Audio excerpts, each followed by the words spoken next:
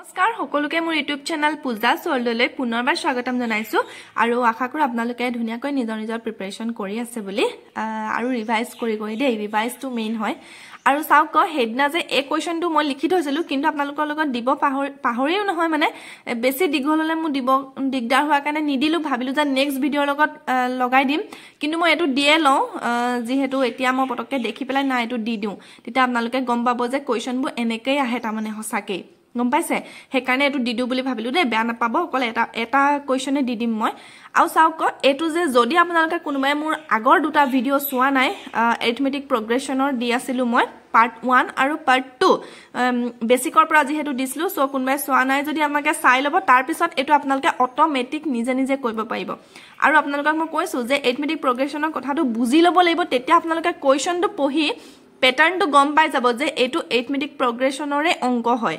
গম পাইছে সেইটো কথা চাওক এতিয়া কুৱেশ্যনটো Liza deposits money in her savings bank in such a way that every next day her deposit amount is rupees twelve more than her previous day deposit হ'ল if she starts her deposit with rupees twelve on the first day the total amount deposited by Liza at the end of the of thirty days will be হ'ল অসমীয়াটো মই লিখি দিছোঁ লিজাই তাই savings বেংকত থকা এনে ছেভিংছ বেংকত টকা এনেদৰে জমা কৰে যাতে প্ৰতিদিনে তাই জমা কৰা ধনৰ পৰিমাণ আগদিনাতকৈ বাৰ টকা বেছি হয়। তাৰমানে কি কৈছে যে প্ৰত্যেক দিনাই তাই আজি যদি মানে বাৰ টকা তাই প্ৰথম দিনা বাৰ টকা থৈছে বুলি কৈছে দেখিছে নহয় বাৰ টকাৰে আৰম্ভ কৰে তো নেক্সট তাই বাৰ টকা আকৌ বেছি কৰি দিব। তাৰ পিছদিনা আকৌ সেইকেইটা টকা আকৌ বাৰ টকা বেছি আকৌ বাৰ টকা বেছি বাৰ টকা বাৰ টকা বেছি কৰি কৰি গৈ আছে।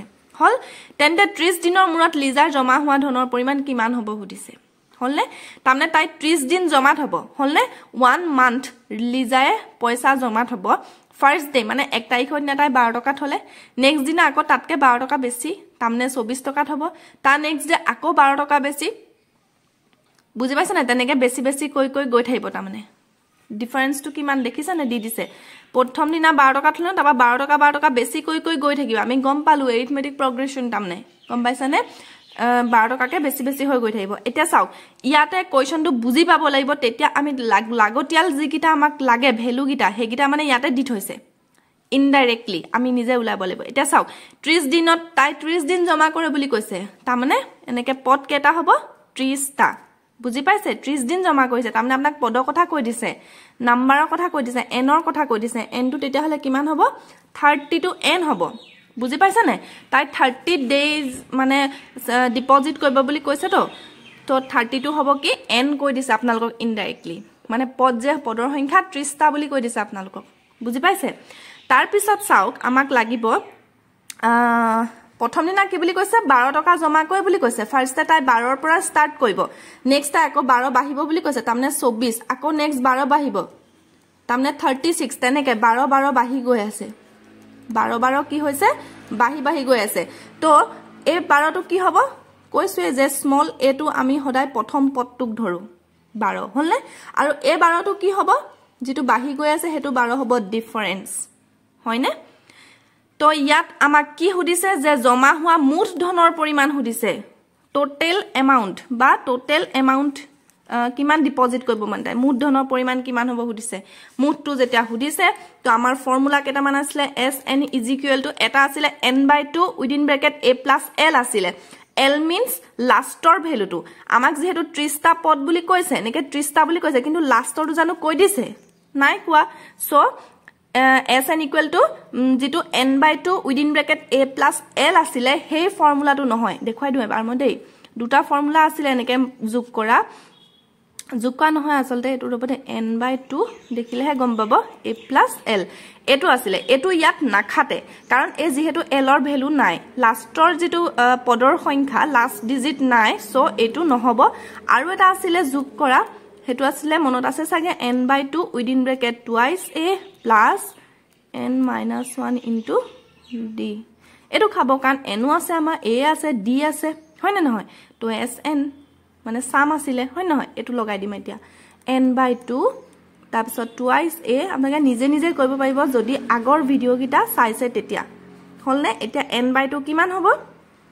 এন কিমান দিয়া আছিলে আমাক? থাৰ্টি। ত্ৰিছ দিন বুলি কৈ দিছিলে নাই? সেইটো তাৰমানে এনৰ ভেলু দিয়া আছে বুজিছে নাই?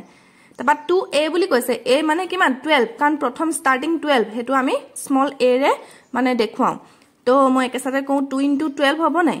দুই বাও চৌব্বিছ plus n minus one n thirty আছিলে। থাৰ্টিৰ পৰা ওৱান মাইনাছ কৰিলে কিমান হ'ব? টুৱেণ্টি নাইন তাৰপিছত ডিটো একেচাতে কৈয়ে দিওঁ পূৰণ ডি হৈ আছে। ডিটো কিমান দিয়া আছে? টুৱেলভ এইটো টুৱেলভ হ'ব। হ'ল। তেওঁলোকে একেচাতে পাৰিব। মই জাষ্ট এনেকৈ কওঁ কাৰণে মই দেখুৱাই দিওঁ। Twenty four plus twenty nine আৰু টুৱেলভটো ইনটু কৰিব লাগিব।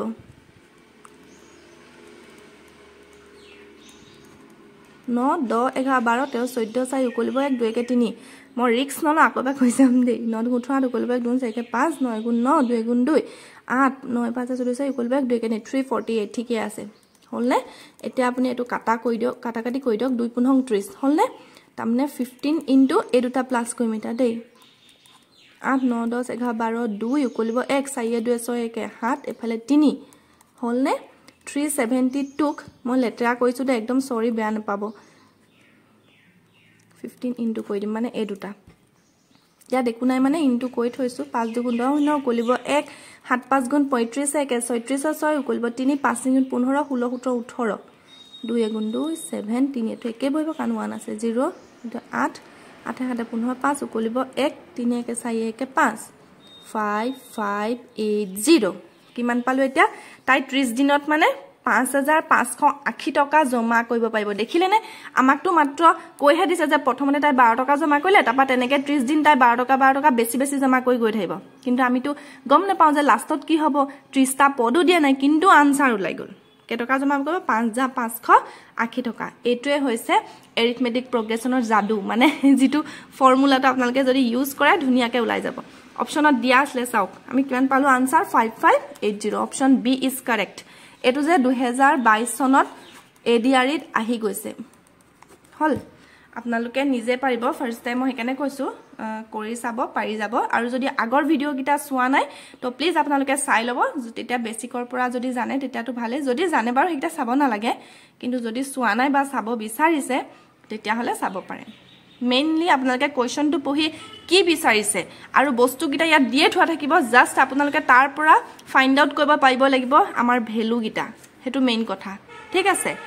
আৰু এটাই দিয়াৰ কাৰণে বেয়া নাপাব দেই মই নেক্সট আকৌ ভিডিঅ'ত দি আছোঁ। বাকী ভিডিঅ'টো শেষলৈকে যদি চাইছে থেংক ইউ ছ' মাছ